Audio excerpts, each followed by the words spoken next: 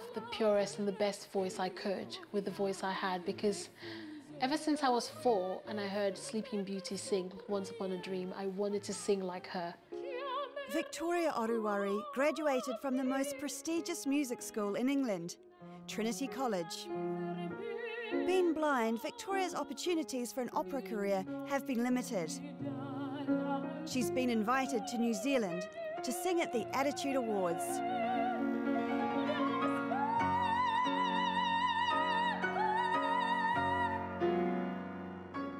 There's so many, you know, disabled artists in the world that are really good and you know, they have Stevie Wonder and they could have invited anyone and, and they picked me. Being out of London is, I mean, it could, it could be really daunting. Victoria is about to get the complete Kiwi experience. It will be an adventure to hear, taste, and feel. I think it's getting serious now. There's no point in coming all the way if I'm not going to go back a different person. Or slightly to add, to add something new to all the bits and pieces that make up Victoria.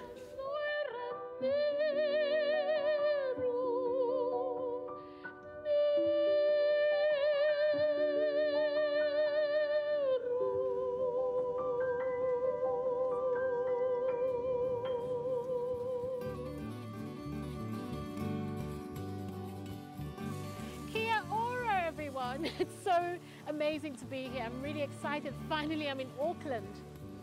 This is Victoria's first time down under. She's brought her friend Patricia along to help her.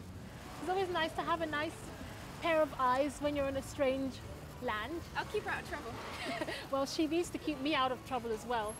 I was expecting to come to a place where the culture would be totally alien to what I know and understand. Not too many cars yet, I'm surprised fresher than London, perhaps. Yeah, slightly fresher because I, I'm just asking where the sheep are because someone told me there were more sheep than people here. I didn't know how true it was. Auckland, here I come.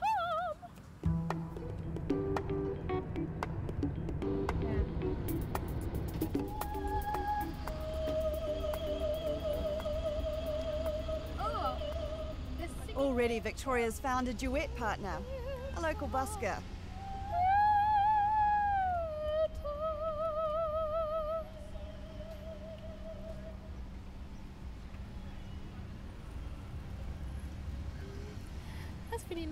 Opera on the street.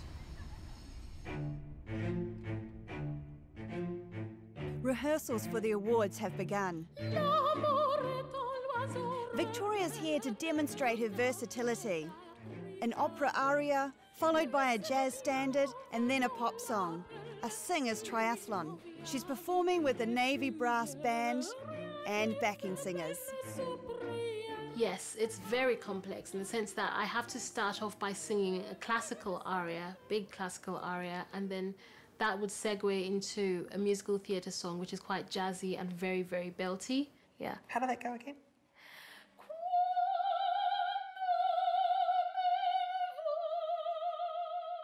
And then I have to sing Aretha Franklin's Respect, well, if anyone ever told me I would ever sing that, I would never have believed it. And I remember when I was asked to do it, I didn't even think. I was like, oh, yeah, yeah, I can do it. And then I went and listened to the track and I thought, oh my word, how am I going to sing that? I'm going to wreck my voice. So I had to look for a backing track in the right key that wouldn't wreck my voice. And I kind of went and found the attitude, you know what I mean? Because you got to get a bit Texan. And I can't do Texan very well. So. I'm just gonna, what we're gonna do is we're gonna do that last, yeah. yeah okay. One, two, three, four. What you want? You hear me? You don't come back home at five o'clock this morning, I'm gonna whip your ass.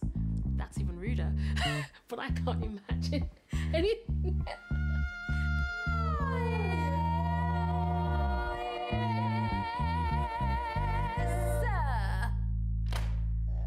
Let's get in there.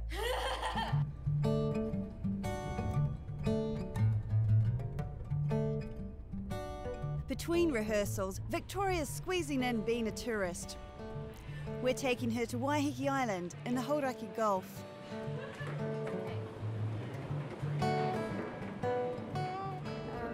So? Please tell me there are rails at the edge all There are around us. rails at the edge all around you, and there's a seat just behind you. Was nice getting on the ferry. I was quite pleased that it wasn't too rocky when we were getting on.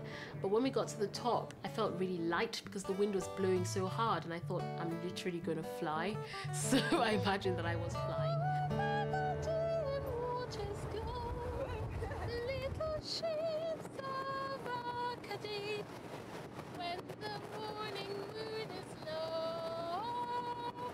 Oh, my voice is gone. I could hear myself, but I couldn't. You know, like if I'm in this room and I decide, I want to sing something, you can hear it kind of bounce to that wall or that wall or that wall. But it was just going into nothingness, and that wasn't very nice. It felt like my voice was going away and never going to come back. So there's this lip here. Throughout her visit, Victoria's connecting with Kiwis who are vision impaired. So there's another ramp to get us off, but um, it's a bit uneven, so there's a little step up. Waiheke local Don McKenzie is picking up Victoria at the dock. He wants to show off his favourite parts of the island. Waiheke Island. Don and Victoria have never met, and neither can see. Always tricky for a first encounter. When someone sighted meets you, they can see your face, and even though you can't see theirs, you can perceive theirs somehow. And there's kind of an you know expression of whether they like you or they don't like you. I think it happens with blind people too. Actually, Yeah. they kind of you kind of take to someone, or you actually don't take to, to the person. What about shaking hands? That's the awkward one. I just always say, "Here's my hand," because um, or else you get other parts of your body grabbed. and I hope that they find it, or I start to go. If Yeah. they don't, then you probably have a white stick. That's a clue. there's someone with a guide dog. Oh, doggy dog. Cool. I think that's him? It might be. Should we approach him Yeah. and say hi? Hi. Hi. Hello. I'm um, Victoria. Hello, Victoria. I'm and- Don. Hi. Nice Lovely to, to meet you. Lovely Lovely to to meet meet you. you. And Don's taking Victoria to a little known Waiheke treasure, Whittaker's Music Museum. Don's guide dog Holly has other ideas. Oh, nice. Holly, in the door. In the door. Lloyd and Joan Whittaker are in their 80s and still enthusiastically growing their collection of antique instruments. They've assembled around 100 instruments. Some are more than 200 years old. Visitors are encouraged to have a go.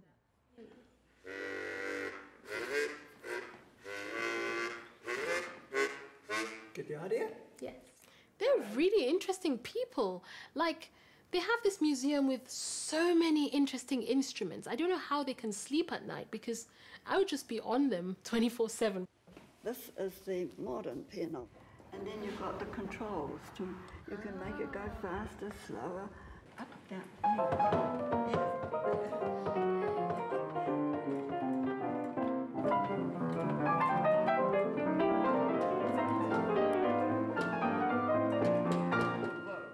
That's kitten on the kitten on the keys. Two kitten- Victoria wants to use every chance she has to rehearse. I have felt like it was important that I sang well wherever I sang because obviously people have heard about me as a singer and I had to sing. I can smell something. I don't know if it's the lavender. Don's showing off the best the island offers the senses. And Waiheke's famous for producing boutique wines. And I think because he's visually impaired as well, he, he knows what he would want to see if he went to a place. The places he chose to, to take me to were, were really good because I would call them multisensory places. There are things you could hear, things you could feel, and yeah, things that you could see. Tristan's a wine expert. He's lined up a selection of tastings. But he'll have his work cut out. Victoria admits she doesn't really like wine. um, I don't really understand wines, and quite frankly, I don't think I've acquired a taste for them. And I kind of drink them because it makes me look grown up.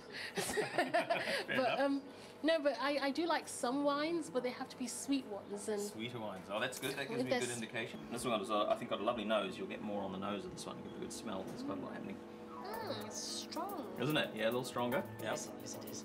And why French? Most of the oak in the world uh, comes from France because they have It's important to have an open mind when you travel because if you if you turn down everything, then you never know what you would have liked and what you wouldn't have liked.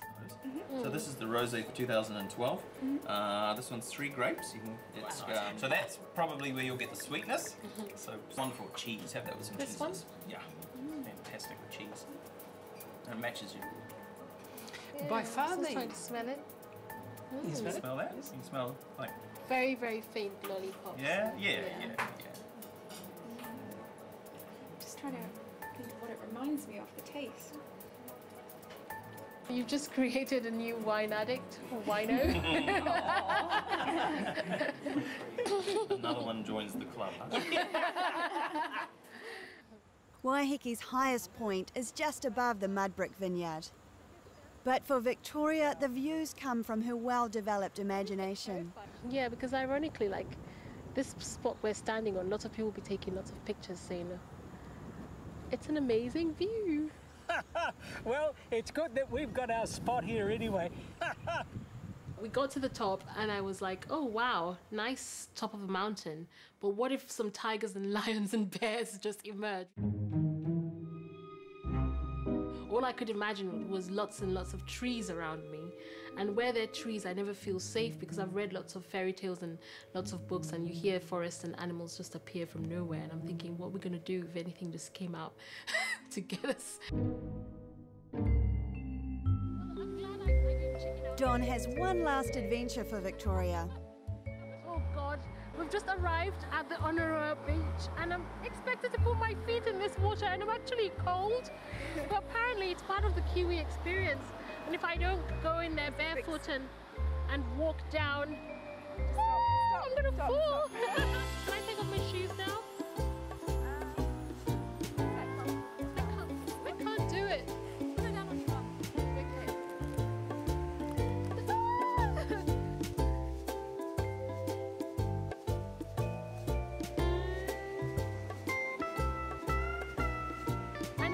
Really reluctant to go. But here I come. Can I pick up some shells? Yeah. Oh, this is nice. Shell. Do you know if you put them in your ear, you can hear something? Let's see what this one is saying. They need to be more curly, I think. Yeah, this one is not as curly as it could be. Um, is the sand white? Here we go! Uh, I'm not gonna go further than. It's actually, it's not too bad. Ooh, it's nice. It's not too bad at all. It's actually not too bad. And I can stay for two more. Yay! I like that. Woo! Right, I think it's getting serious now. Got into the water, which is probably like below 20 degrees. Um, I would never do that normally. um, I know that was nice. I can't wait to go back in again. Again! Come back! Woo! Right, that's not funny anymore. Today has been full of many new experiences. I've been to taste some wine. I'm now better educated about the sort of wine I like. And I had lunch and I walked down a very steep hill in these. Then it's back to Auckland. Victoria's got an important dinner date. The Tapar family are putting on a Kiwi summer feast.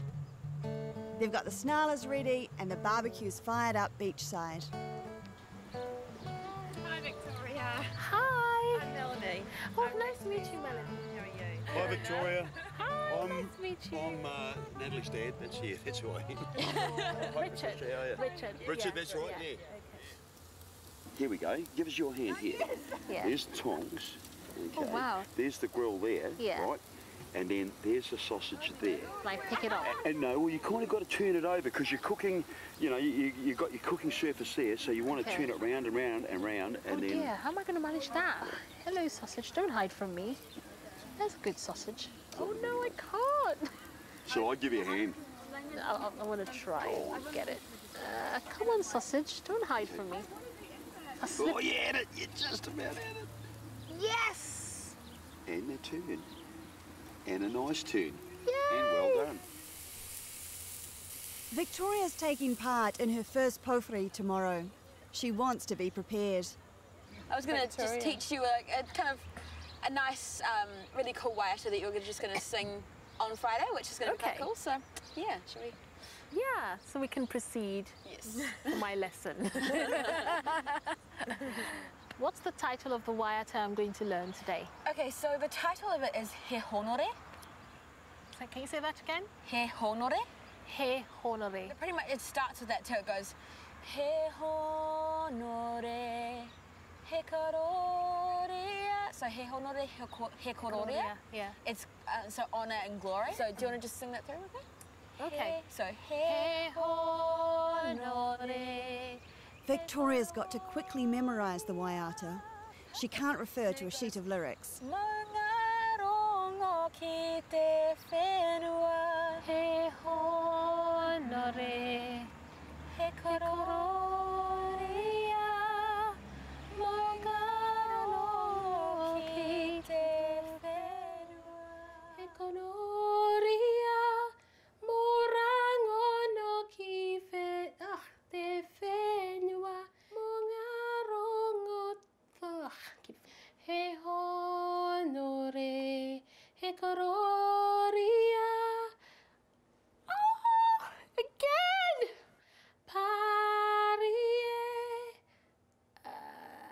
In Africa, if someone comes and they, they greet you in your own language, it's like they've cared enough to, to learn a little bit about you even before they met you. And I feel that it, it creates a sort of bond. Cultures are usually very strict, aren't they? Like, you know, don't talk like this to this person, don't shake that one with your left hand, don't sneeze. um, and sometimes you you could just get so caught up in all the things that you're afraid of that you you you don't try something but i think trying the experience of trying nothing beats that. Maybe i should wear something that makes me look younger like a dress because no one tells children off when they get things wrong. The powhiri's at the Auckland Museum. wow so we're here now and i've talked the talk and now i've got to walk the walk. Really scary i know i was going on about wanting to participate and immerse myself into everything but it's pretty scary now that i have to actually go through with it. Yeah you, you do have to put yourself on the line and you could be laughed at you could be yelled at you could be actually even worse ignored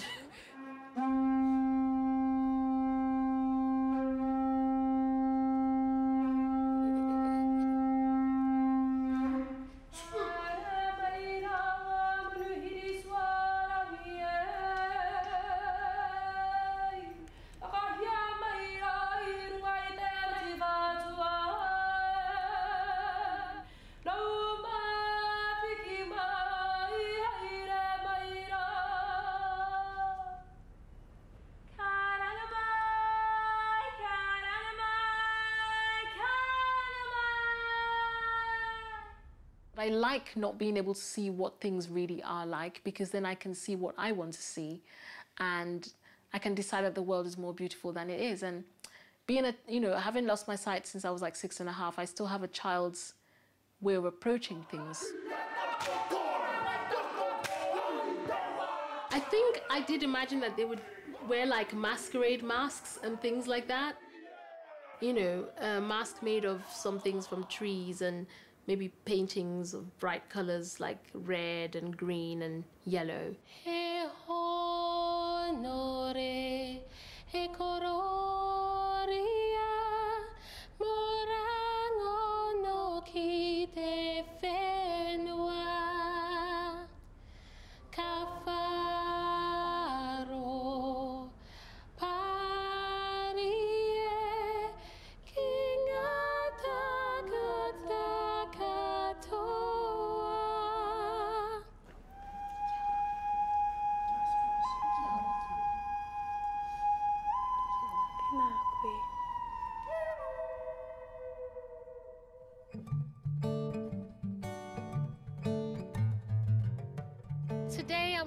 To the BLENNZ school.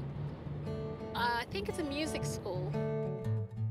I want to find out about these children's experiences because a lot of the time you find a lot of comfort from music because it's the one thing that you're doing that you don't need anybody else's help.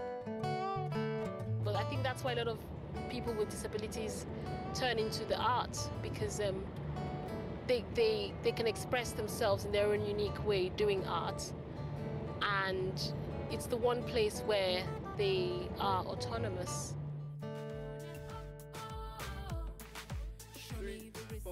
These students have travelled from all over the country to meet with Victoria. Kia ora, everyone. They have a surprise for her. They're performing a song Victoria wrote called Girl in the Corner. One, two, three, go!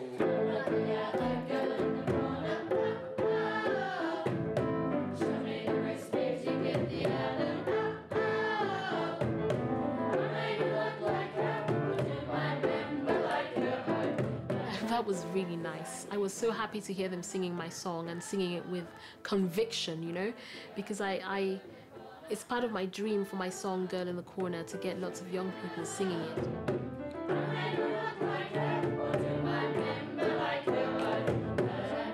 What I wanted to use this song to bring forward was the fact that, well, they're proud because they've got everything to be proud of and they should, they should be counted. Guys, um, I wanted to just have a talk with you about, well, let you guys have a talk with me about what life is like um, in school, in general, how you find getting around. What is the nicest thing about not being able to see? You get to read Braille and um, you have more memory. If you type something in Braille, yeah, and then and then um someone and then someone wants to know all your secrets, and but but they can't read Braille. Yes, that is so cool. That is so cool. It's like a secret code, isn't it? Yeah. That we all know and they don't know. So can we go to what the things that are not so? Uh, can we go to the things that are not so nice about being blind? Sometimes um, at school you get bullied, and um, and you can tell. And when, when you started, you can see who's doing it and tell the teacher. Yes. The teacher will go and tell off that person. But when you're blind, you can't see um, the, the new bullies. And Well done. you You know. I was waiting for someone to say that because a lot of people forget that when they, you know, when children go to school, horrible things happen to them. I think they're living the life that I lived, and it was like seeing a smaller version of myself, um, saying the same things that I would have said. But I am happy that they got to speak up in those interviews because it means that other people can can hear what the children are saying and maybe you know by by some process of assimilation things might change for them. One two three and.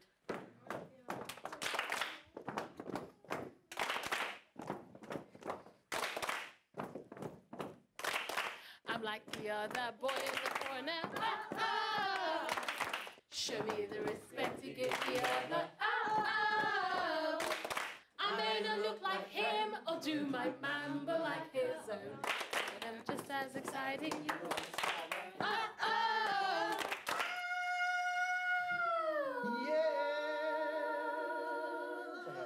Yeah. The first, that Oh, first um, that's right. word. The ring- Are we, go, are we doing? Victoria has one last rehearsal before the Attitude Awards. She's a little nervous. One of the things that I have kept saying to you and everybody else today it's about just finding that connection with the song Yeah. and then finding the connection with the group because Yeah. really it is this group thing.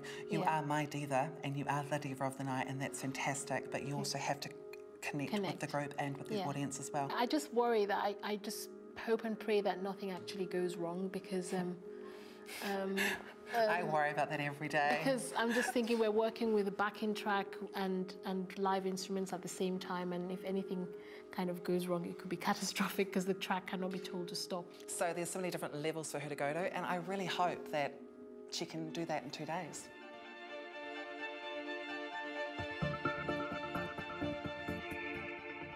A big welcome to you all to Auckland's Viaduct Event Centre for the fifth annual Attitude Awards. London's Trinity College is the world's leading music school, and tonight we're delighted to bring you one of their star graduates direct from London, Nigerian born soprano Victoria Oruwari.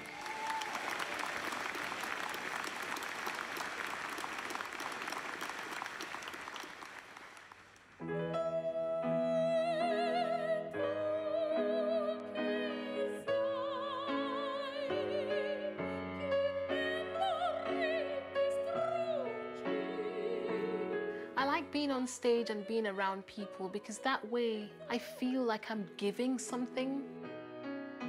My aim would be to use my music to make a very positive name for myself so that other people who have a similar disability or parents of children with a similar disability or with any disability, they can hear my music and say, well, look at Victoria, she did this, so my daughter can do the same or my son can do the same.